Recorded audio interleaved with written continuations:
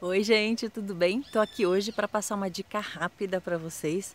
Vários alunos me perguntam, né? Ah, minha planta está com fungo, professor, o que, que eu faço?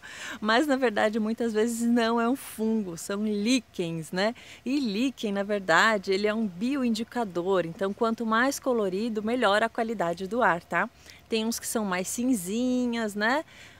Levemente amarelados e tem um que é bem vermelho, né? Como que é o que tem aqui atrás. Deixa eu ver se eu consigo mostrar para vocês. Olha aqui, bem vermelhinho, né? Então isso indica que a qualidade do ar aqui está muito boa, tá?